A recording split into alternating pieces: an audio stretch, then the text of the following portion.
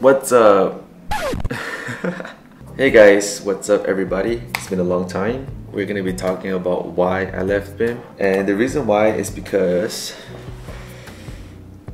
I'll cover that later in the video. Alright guys, so I just wanted to um, make this video because a lot of you have been asking me questions about BIM, how to be a BIM engineer. Can you be a BIM engineer if you study structural engineering? Where is the best country to go to to get a master's in BIM? And like all these random BIM questions. But the truth is,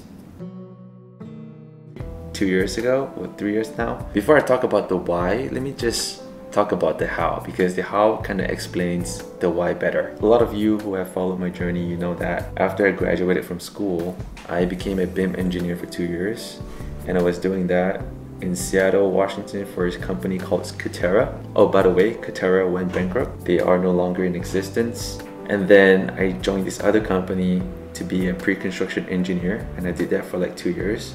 Really, I was an estimator. I didn't do anything pre-construction. So the reason why I left to join this other company was because they wanted me to integrate design and construction, helping them extract numbers from the BIM models so that I can put them on a spreadsheet. Whenever there's a design change to the BIM model, what you want to do is to keep track of the changes and how it would impact the overall costs in terms of construction. The reason why I stuck with it was because I would rather deal with numbers than 3D models you know, at first when I joined BIM, I thought it was gonna be fun, right? Like playing a video game. But after doing it for two years, you realize that it's not as fun as you think. And if you have a passion for it, good, you should keep doing it. But for me, my passion was more in numbers. I love doing estimating. I love calculating how much does it cost to build a building. And with estimating, like you have to go deep into the details.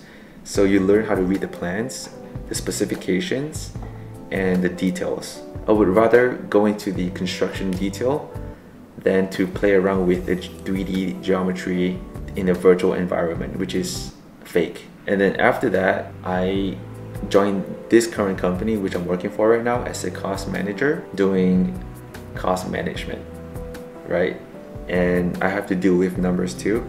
I have to apply my estimating skill sets into this scope of work and I have to manage the finances for the owner. So which is fun. I prefer doing that more than BIM. And now let's talk about the reasons why I left BIM for good. I found a new interest, which is estimating and cost management, more so than doing BIM. Like for me, part of the reason why I studied construction was because I wanted to build my own establishment one day. And I know like that's just big dreams, right? I want to learn how to build. Being a BIM engineer for two years, I was behind the screens all day, eight hours a day. You never really got to go out there to the field. As an estimator, like you learn to read the plans and specs, right? But also, sometimes you get to visit the people in the field. You visit our subcontractors and they teach you how things are being done. You have relationships with the subcontractors, which is the best part about being the estimator for me, I want to be in control of the things that I do. When I encounter software issues, it just makes me go crazy. And I feel like I'm not really the type of person to be able to handle that kind of stress. First of all, it's outside my control. I have to wait for someone else to fix the bug first before I can do anything on my end. So that means you have to wait for them. That means lost time, right? And BIM is very software driven. You need to learn, you need to know more about the software than you know to let me just phrase that again.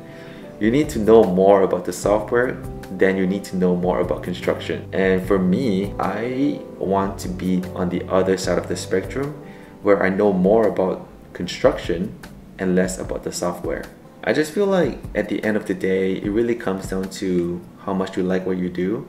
I really hope that this video helps you make better decisions, whether you want to be a BIM engineer or an estimator or a scheduler, a project engineer, or superintendent. There is so many ways you can explore to find the right career for you. And uh, I will see you in my next video. Cheers.